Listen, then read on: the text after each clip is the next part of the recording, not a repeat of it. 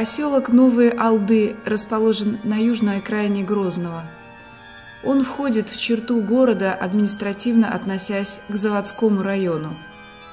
В начале декабря 1999 года российские войска начали обстрелы и бомбардировки жилых кварталов. Вся прилегающая к поселку Новые Алды территория подверглась интенсивным артиллерийским и бомбовым ударам. Жители поселка уже физически не могли покинуть его. Они ничего не знали об ультиматуме жителям Грозного с требованием покинуть город, выдвинутым военными. Люди все это время прятались в подвалах и погребах. Водопровод не действовал, за питьевой водой нужно было идти под обстрелом, либо далеко, к роднику у дамбы Чернореченского водохранилища, либо ближе к скважине – находящийся за зданием школы и дающий техническую воду. За этот период на поселковом кладбище появилось 75 могил мирных жителей. Люди гибли под бомбежками и обстрелами. Все это время позиции чеченских вооруженных формирований на территории поселка не располагались. 5 февраля 2000 года – это трагическая дата для чеченского народа. В этот день было совершено чудовищное преступление, так называемая зачистка поселка Новые Алды. Преступление совершал ОМОН Министерства внутренних дел из Санкт-Петербурга и Рязани.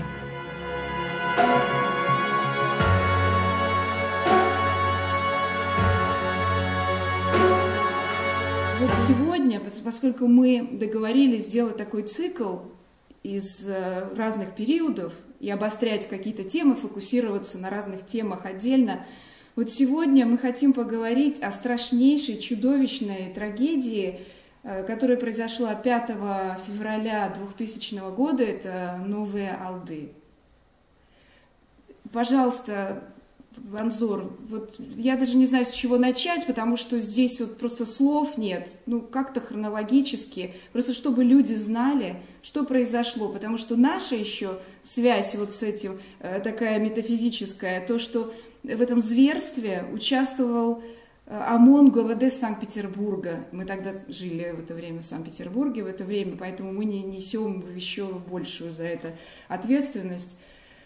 Пожалуйста, начните этот страшный, чудовищный рассказ.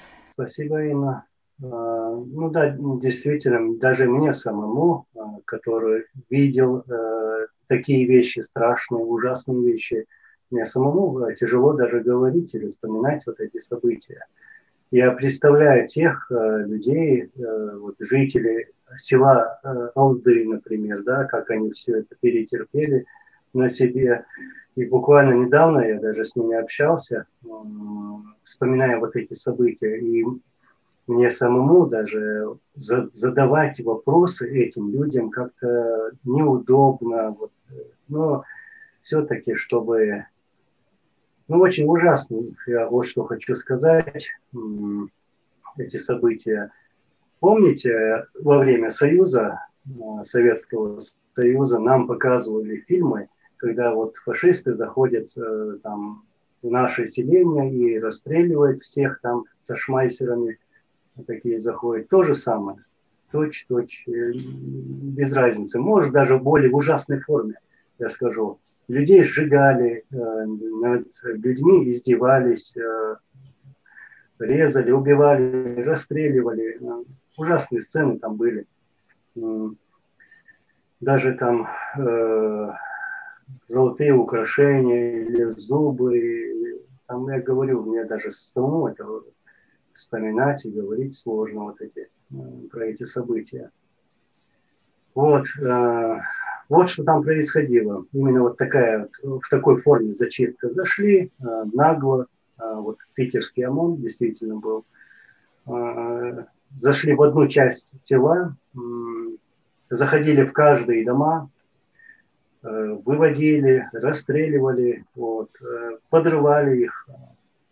Ну, страшная картина была. Потом, когда люди уже поняли, что идет убийство, э, то, как я знаю, одна женщина э, выступила с таким предложением, чтобы люди выходили и были вместе. Может, тогда э, они как бы остановятся. И да, действительно, это и произошло. Вот, это как бы сохранило их э, ну, в дальнейшем, чтобы эти не продолжали э, эту кровавую акцию.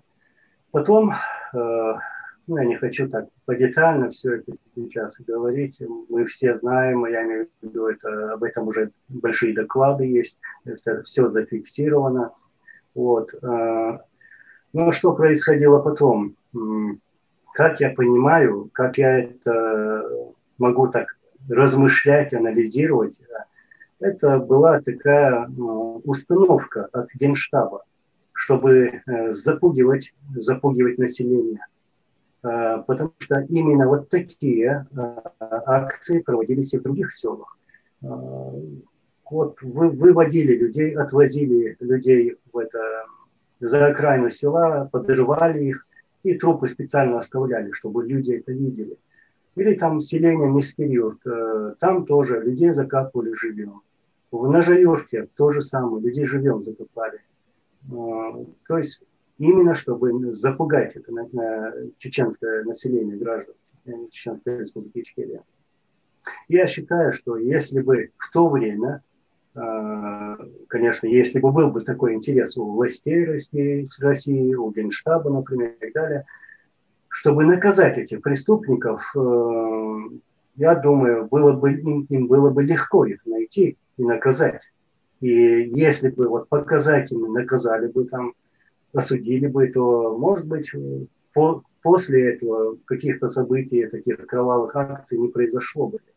Но все это разрешалось э, и не наказывалось, поэтому офицеры, солдаты, там, ОМОНовцы, они вели себя вот так спокойно.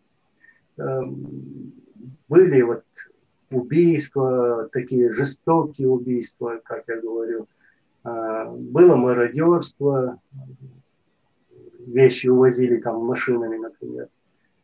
Все это было. И если так сказать, что можно, можно сказать, что новые алды, э, вот, такие трагедии были многочисленные, и чуть ли не каждую неделю происходили там, и там, и в других местах, э, разных э, селах, как я говорил, людей расстреливали, над людьми издевались. И в основном э, издевались над мирным населением. Над мирным населением. Нет, чтобы, ладно, понятно, раз уж война, то идите против врага воюйте. Но они отрывались на население республики.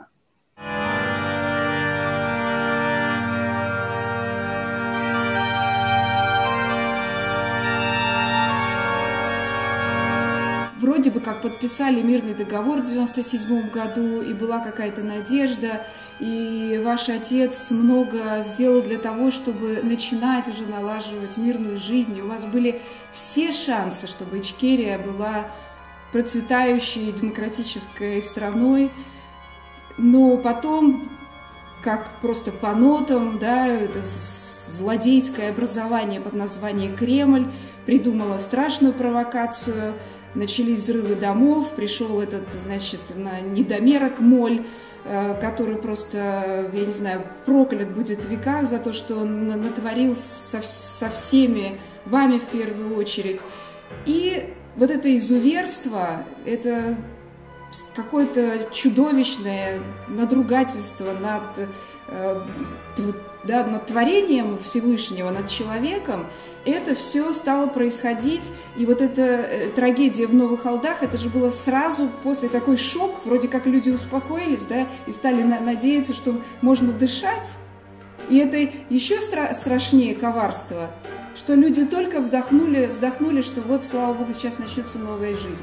И тут такое коварство и такая трагедия. Вот многие мне пишут, что Вторая война была еще страшнее, чем первая. Это, это правда, что вторая волна была еще более чудовищная? Да, вот эти варвары, я так скажу, сорвали себя э, маски во время Второй войны, как мы ее называем. И действительно были такие ужасающие э, события, вот эти акции, даже обстрелы массовые. Хотя и во время Первой войны тоже самое было, но Вторая была, Путинская война, была очень жестокая по отношению к, э, к мирным жителям. Я понимаю, э, если это война, если там фронт, здесь фронт, э, ну, враги воюют, да, вот, если так. Но тут целенаправленно убивали мирное население, целенаправленно. И даже призывали, вы, скорее всего, да, помните, даже вот призывы генералов, что вот э, чеченцев надо убивать, э, начиная с 10 до 65 лет. Э, истреблять надо. Вот такой форме. На чеченцев надо ядерную бомбу скинуть. На чеченцев надо выселить. Вот такие высказывания были. И никто не был наказан за эти высказывания. А если мы сегодня, если мы будем находиться на территории России и скажем что-либо, нас сразу поймают, арестуют, наручники и посадят посудят. Вот. Вторая путинская война, э, даже мы среди чеченцев говорим, ладно, во время Первой войны э, в основном воевали военные, военные, армия. А во второй э, это уже были спецслужбы, война спецслужб. То есть они заранее подготовились, заранее подготовили эти ярлыки. Террорист, бандит, вот они виновны а, во взрывах домов в России, они убили наших граждан, вот такие призывы были, надо им мстить, а, война, война, война.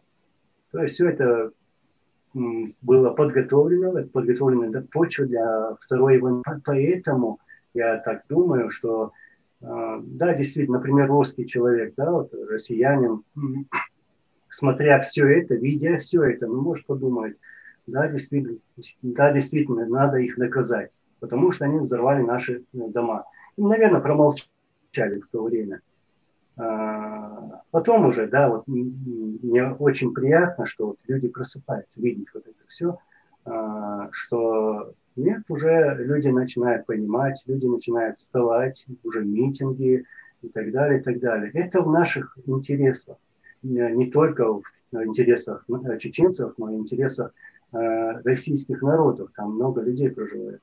И поэтому, э, если они вот призовут, э, как бы добьются или постараются добиться того, чтобы эти люди были наказаны за эти преступления на чеченской земле, на российской земле, вот эти взрывы домов, там много событий произошло.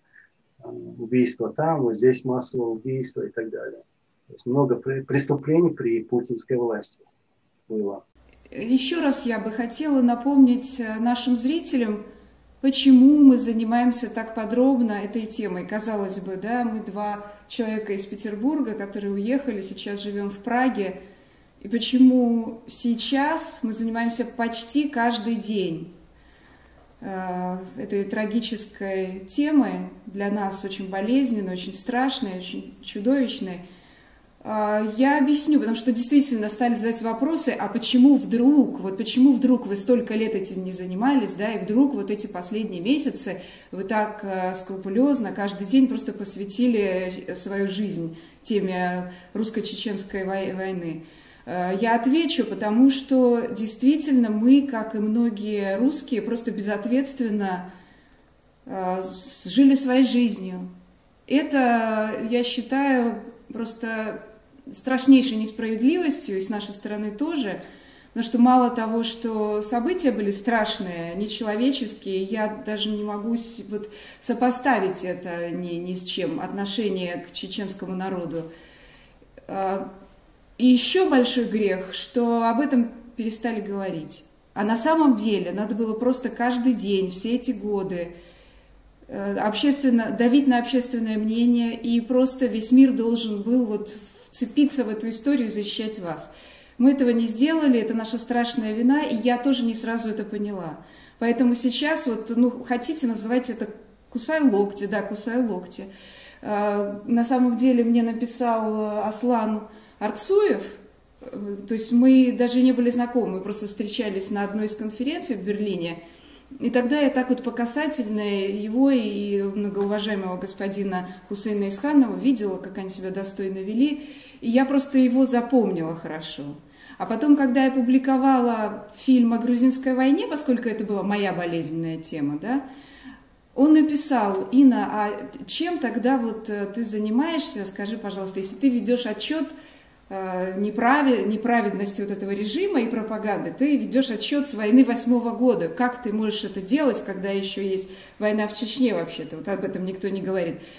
И я могла пройти мимо этого вопроса, на самом деле. Я могла, как мы все проходим мимо комментариев, ну мало ли, ну да, там написали мне комментарий. И я отреагировала, мне стало очень больно. Я написала Аслану, говорю, давайте мы с вами как-то поговорим, перепишемся и поймем друг друга. И мы после этого уже записали интервью и с Ландсбергесом, и с ним, и с Петрой Прохасковой. И до меня стало доходить вся чудовищность, весь ужас и весь объем этого страха. Поэтому, когда я упрекаю русских людей, что они об этом не говорят и не знают, я понимаю, что они действительно этого не знают. И что, может быть, ну, это, конечно, и пропаганда поработала, и поработала их национальные черты, что они не хотят ничего знать. Но я считаю, что это просто теперь мой долг говорить об этом все время и объяснять, до кого-то дойдет, до кого-то дойдет. Поэтому я просто очень прошу моих вот чеченских друзей, вас набраться терпения, ну не то чтобы просить невозможно это все, но как бы дать нам тоже возможность объяснять это все, объяснять подробно, раскладывать, показывать весь ужас, чтобы они переживали это вместе со всеми нами заново.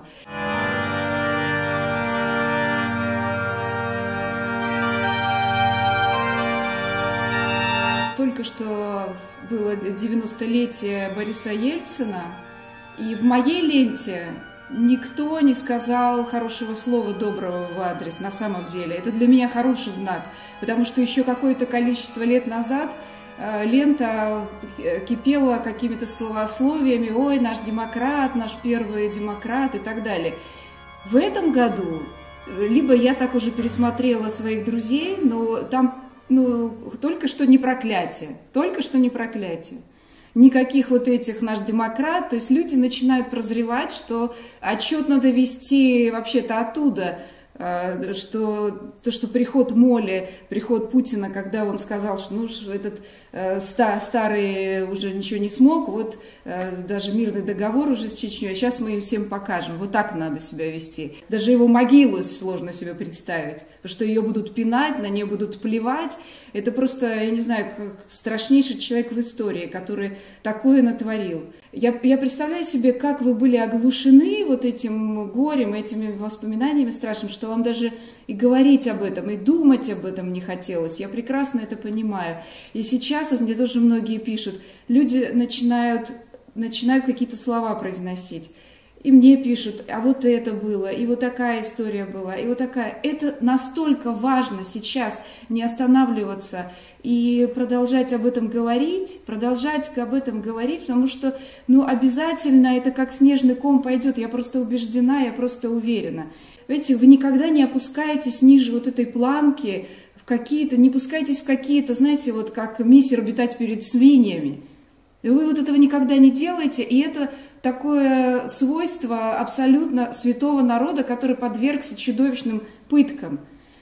Поэтому, еще зная и вот это, вашу черту, понимаете, вашего народа, от этого еще становится еще больнее. Я поэтому пытаюсь объяснять это людям. Посмотрите вообще, вы хоть сравните, как ведут себя люди, как ведут себя э, россияне в тех же соцсетях, как они позволяют себе оскорбления, какие-то вот недостойное поведение, да, э, и как ведут себя вот представители Ичкерии. Всегда достойно, всегда ни одного там слова плохого.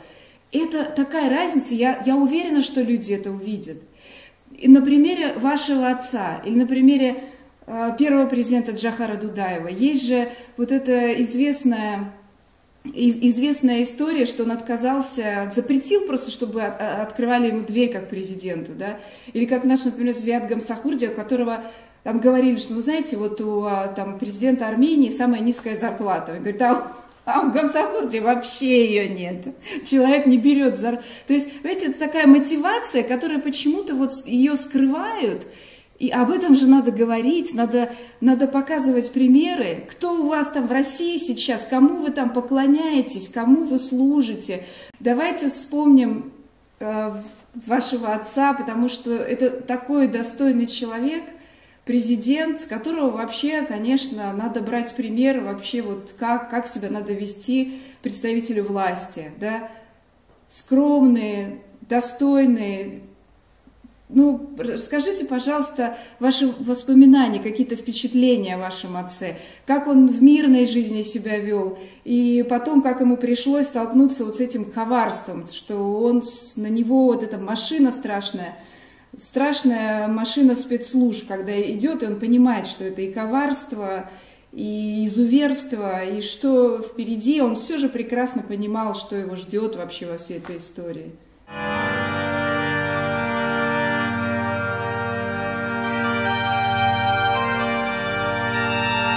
Как мы знаем, он был военным человеком, а, учился в Ленинграде в то время, в академии, закончил академию, и его учили быть жестким а, человеком, то есть военным, да. Но он не был таким, а, да, он мог проявить так жесткость где надо, но был очень человечным. Даже его инициативы во время Первой войны, вот выдача военнопленных, даже вот после всего, чего э, сделала российская армия, разрушенный город, наши мирные жители, которые были убиты, вот. Даже после этого мы были спокойны, и было терпение, мы их отдавали, мы понимали, что э, их загнали в город, э, вот, и было жалко этих э, пленных, например. И когда, когда уже надвигалась вот э, вторая война, начиналась эта война, то в республике, у нас в республике была такая э, страшная на самом деле обстановка, э, накаленная.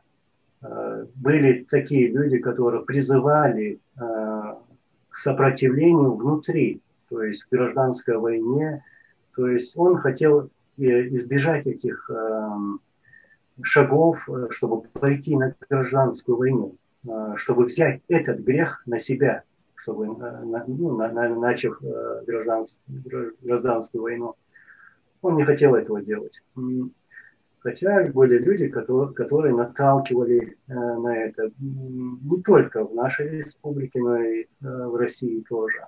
Он не пошел на это, и люди это видели. И люди э, ценят вот эти качества его, что он смог даже в такой э, ситуации проявить терпение. Да, мы сейчас э, тяжело говорить э, про отца, будучи со сыном, э, вот. Ну, был человеком в первую очередь. И он сделал все, э, что у него было в руках. Он призывал своих, он призывал и Россию о недопущении новой войны, что эта война может э, вообще крахом обернуться. Он даже призывал э, лидеров э, наших соседей, э, республик, там, Дагестана, Ингушетии, Осетии, и сказал им, если мы вместе сплотимся, то можем не допустить этой войны. А если же нет, то эта война начнется у нас в республике, и по-любому она будет э, перекинута на ваши территории тоже. Вот, что и произошло там, события в Дагестане, в Ингушетии и так далее, с Осетией. Это произошло, э, к великому сожалению. И даже будучи на войне, он до конца, э, как мы знаем, много раз призывал вот э, этого варвара э, к миру. Даже в 2005 году, в январе, феврале, в марте, он объявил перемирие, э, объявил мир и предъявил мир России и призвал Россию к мирным переговорам решить эту проблему. Я считаю, что если бы у них ума хватило бы в Кремле, то они бы сами не допустили бы этой войны, не готовили бы ее, а наоборот договорились бы с нашей властью, с властью Ичкерии, и поставить конкретную жирную точку.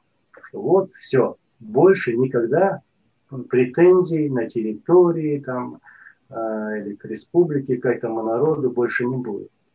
Вот. И им не пришлось бы сегодня, вот, э, как сказать это помягче, э, давать огромные деньги какому-то там маленькому диктатору, да, э, кормить. Мы, мы даже отказались бы от этой кормежки со стороны России. Мы выжили бы, мы смогли бы выжить. Мы умели всегда выживать в трудных э, ситуациях, вот, и помощи не просили бы у России. И, как я говорил, это было бы на руку самой России. Но мы пришли к тому, что у нас есть сегодня. Когда вашего отца избрали президентом в 96 году, это ведь, э, ну, то есть в начале 97-го, да, правильно? То есть там в 96-м было какое-то коалиционное правительство, я правильно понимаю? И там было несколько лидеров – но получается, что народ избрал все-таки вашего отца. Сегодня э, идут такие разговоры, что, мол, не надо было проводить выборы ну, среди чеченцев. Ну, я не согласен с этим. Потому что, м, убив Джахара Дудаева, вместо него э, стал вице-президент. Затем э, вице-президент остается до тех пор, пока не, реш, не будет решена проблема на территории республики, пока будет, э, э, не, не будет достигнут мир, например. Закончилась война в 96 году, и потом уже э, мы внутри себя, то есть они договорились, наши командиры, там, министры и так далее, что будут проведены выборы. Ну, и они должны были бы пройти и определили дату после э, выхода из республики российских войск, вывода российских войск. То есть э, этот э, вывод российских войск состоялся 31 декабря 1996 э, года. И уже на следующий год, как вы сказали, мы э, провели выборы, потом была инаугурация, потом были поздравления со стороны России от президента Ельцина – от э, чиновников, там, э, губернаторов и так далее. Все эти подраз... Э, поздравления есть. Они, как я знаю, и поздравляют президента Чеченской республики Ичкерия. То есть и признают как бы и фактом, вот, что существует такая республика. Вот, да, действительно прошли выборы, потом российским спецслужбам как-то удалось сыграть вот это, противопоставить бывших кандидатов э, в этих выборах друг против друга. И у нас вот э, пошло, поехало вот это противостояние, внутреннее противостояние. И опять же спецслужбы ну, тоже провели там такую огромную работу, чтобы мы этим противостоянием пошли, пошли бы и на гражданскую войну, как я сказал, но мы друг друга не стреляли. Какие шаги делал президент Аслан Масхадов? Вот э, там же началась уже такая и э, политика международная, такие встречи уже на, на высоком уровне и в Соединенных Штатах, и в Соединенном Королевстве. Э, какие, какие были еще встречи и какие были надежды в это мирное время? Первые встречи был хадж в Саудовскую Аравию. А там а, ну, я всегда был на этих э, встречах во время этих поездок э, рядом с отцом. То есть мы поехали сначала в Саудовскую Аравию на хадж. Там были встречи с арабскими шейхами, там были, обсуждались вопросы, там, касающиеся ислама, религии. То есть у нас война остановилась, что нам надо, как нам надо. Были советы у там, великих шейхов про шариат и так далее. Потом э, мы поехали в в Грузию, встречались с Шеварнадзе. Затем была поездка в Татарстан с Вентимиром Шаймином, встречались Англия, Америка, Малайзия, Арабские Эмираты и так далее, и Турция, да. Вот, э, цели этих поездок, конечно, заявили себе, что мы, э, чеченцы, вот мы такие, мы хотим мира, у нас были такие события. Мы также искали в себе сторонников помощи с этих стран, ну, в разных направлениях, скажем так. Вот. Э, были договора, но опять же я вернусь к тому, что вот да, российские спецслужбы внедрили такую противную вещь, скажем так, э, с кражей людьми, убийство там, сотрудников там, Красного Креста или там, других организаций. И вот, э, скажем так, испугали этих инвесторов. А, вот, была такая проблема тоже. Но мы искали, э, искали выход из этих ситуаций, мы старались, мы смогли бы, если бы э, нас оставили бы в покое, потому что если бы не было этих провокаций.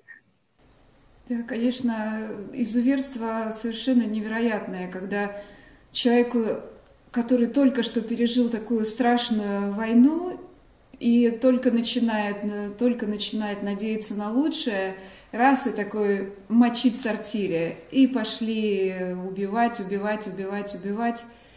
Безжалостно, нещадно, мирное население. Это, конечно, я, я так хочу дожить до этого времени, когда придет расплата и какая-то справедливость будет э, начинать торжествовать. Вот я говорю сейчас со многими людьми. Я вот недавно с э, литовским журналистом говорила. Он абсолютно поддерживает мою позицию, что э, надо просто вот вовлекать все больше людей и вовлекать, что за нас это никто не сделает, вовлекать какие-то инстанции, дергать их. Понятно, что спецслужбы российские заинтересованы в том, чтобы вообще полное было молчание, и все согласились с тем, что ну вот там в составе России Чечня, смотрите, как хорошо, какие хорошие дороги, какие прекрасные гостиницы. Да что вам еще надо? Все мирно, тихо. А если кто-то где-то вылезет, Рамзан сделает, значит, там кулаком погрозит, и все сразу притихнут. Смотрите, вас же это устраивает, спрашивают спецслужбы западное сообщество. И западное сообщество вроде как так кивает, ну да, вроде бы, слава богу, да, там не, нету ничего такого страшного. Вот как вы думаете, какие шансы, если мы будем вот так просто друг друга в разных странах, люди, вот обращаться друг к другу с этим вопросом бесконечно, да, вот не, не оставлять эту тему. Что мы можем сделать? То есть мы можем упирать на то, что есть все-таки э, договор, который говорит о том, что Республика Ичкерия – это независимое государство. Это же никто не отменял. Вот это же, это же действующий документ, насколько я понимаю. Как быть с этим вот таким раздвоением, не знаю, шизофренией, с этими двойными стандартами, что вроде есть независимое государство, а есть вот какой-то, э, не знаю, марионеточный протекторат, который говорит, ну смотрите, вот так же лучше, и все должны с этим смириться. То есть как мы должны настаивать на том, что правда на нашей стороне? Мы настаиваем, что это независимая республика Ичкерия. Как, как тут быть, как вы думаете? Вот мне, не, не вам, а мне, как быть? Вы э, сказали такое слово «возмущение». Именно возмущение, наше общее возмущение. Вот, э, скажем, если оно будет э, сегодня, если оно будет со стороны россиян, то это, можно сказать, сказать бесценно в этом. Если мы, вот смотрите, для меня никаких проблем нет встретиться с любым э, русским человеком и поговорить на эту тему. Э, я готов быть рядом с этим русским человеком, чтобы добиваться правды, чтобы призывать э, к тому, чтобы преступники, преступники э, понесли наказание, э, добиться правды, например. И я считаю, вот я к чему, что нам лучше встречаться. Будь это митинг, будет и конференция и так далее. Призывать других людей. Чем больше людей, э, тем лучше для нас, для всех нас. А вот лидеры стран или другие там люди, я не думаю, что какая-то польза от них будет. Но если будет возмущение от народа, э, вот это уже сила. Народ – это сила на самом деле. Как вы думаете, в связи с вот этой э, чудовищной историей, когда это просто уму непостижимо, что единственным героем оказался опять чеченец, и такой мальчик, которым все восхищаются, настоящий герой, с таким горячим сердцем. Как вы думаете, что вообще, что будет с этой историей? Может ли мировое сообщество как-то повлиять? Что вообще ему грозит, этому замечательному юноше? Э, в путинской России всякое может, многое может грозить этому молодому человеку. Действительно, очень жалко этого пацана. Вот. Я не призываю к каким-то или другим-то действиям, но я считаю, что те люди, которые вокруг тогда находились, должны были отстоять молодого пацана. Вот. Должны были не отдавать в руки этого человека, действительно. А, ну, видно, как вы сказали, вот кипит у него, а, он видит в это, как говорят, в космонавте там, а, угнетателя народа. Вот. И он пошел против угнетателей, скажем так. Если бы надо было им отстоять этого мальчика, да, действительно. Я а, желаю, чтобы адвокат вот взялся, да, известно сейчас за это дело. Может быть, что-то получится. Лишь бы этот мальчик был на свободе, потому что, ну, нельзя ему с таким сердцем, вот с такой, да, такое просто надежда молодое поколение, вот так э, на, на глазах, опять-таки, всего мира взять и стать жертвой и пойти на заклание. Ну, я вообще не понимаю, как можно это допустить. Поэтому я тоже пользуюсь случаем и призываю всех как-то, не знаю, добиваться, стучаться во все двери, не оставлять этой темы. Его нельзя оставлять сейчас а, один на один вот с этой чудовищной машиной. Да, вы заметили, как э, начали выскакивать такие личности заявлениями, что, ну, я про тех, которые называют себя властью в Чеченской Республике, мол, мы сейчас взяли э, его родственников, то есть они сразу к ним пошли. Узнали, кто этот парень, его адрес, пошли к этим родственникам и начали уже пугать этими родственниками. Э, мол, иди к нам в руки, мы тебе поможем э, с проблемой с властью. Лишь бы он вырвался оттуда и, господи, только вот думать об этом и что-то делать и призывать сообщество не, не быть равнодушными. И про, про какие-то вот на твоих глазах в режиме реального времени происходят чудовищные вещи, да, и опять как будто вот, я не знаю, какие вам еще нужны, хочется сказать людям, да, какие вам знаки еще нужны, какие вам еще символы нужны, чтобы вы задумались вообще, что происходит. Единственным героем на всех этих митингах во всей России оказался чеченец. Ну просто, ну правда, задумайтесь вообще, люди, задумайтесь. Это же в наших интересах э, всех общих как-то уже прийти в себя от этого обморока бесконечного. Для нас, чеченцев, э, конечно, в первую очередь э, мы хотели бы видеть в России вот стабильного, безопасного соседа, от которого нельзя там что-то плохого ожидать, например. Ну, то есть нам хотелось бы видеть Россию такое. И мне лично, как вот э, чисто мое мнение, мне без разницы, кто там будет во главе в России, э, будь это Навальный или другой человек, но мне хотелось бы, чтобы э, там во главе в России был человек, который будет готов наказывать преступников и который вернется к тем преступлениям, о которых мы говорили, а, чтобы наказать и виновников этих преступлений, всех преступлений, чтобы был такой лидер, с кем можно было бы договориться в плане безопасности от наших отношений чеченцев и э, России. То есть мы хотим поставить, действительно, мы, нам это надоело, наш народ страдает всегда, чтобы была поставлена точка, чтобы наш народ все-таки ну, наконец-то получил бы эти гарантии безопасности. Вот, очень надеюсь на это.